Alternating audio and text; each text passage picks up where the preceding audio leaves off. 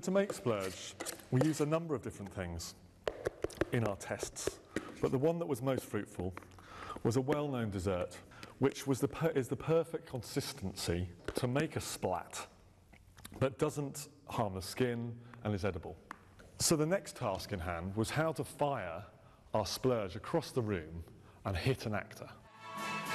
With little practice, we made every blacklist. Our stage is 10 metres wide, so it was trying to find something that could project 10 metres with enough force. We started with custard pies, we moved on to eggs as an idea of them being the projectiles that were fired from a gun. On impact, uh, especially on the face, obviously it hurt.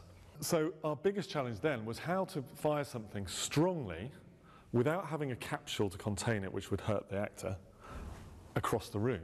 We put our splurge inside one of our guns and tried to fire it, but couldn't get the strength up to project that um, bullet effectively across and hit our person. So we moved on to paintball technology.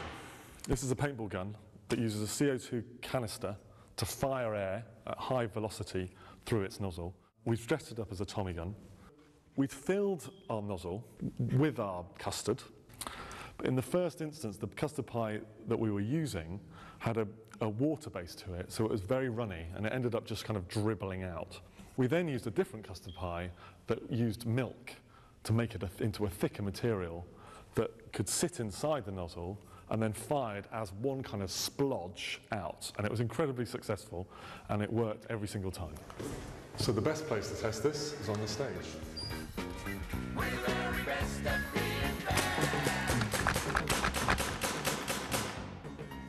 Well and truly splurged.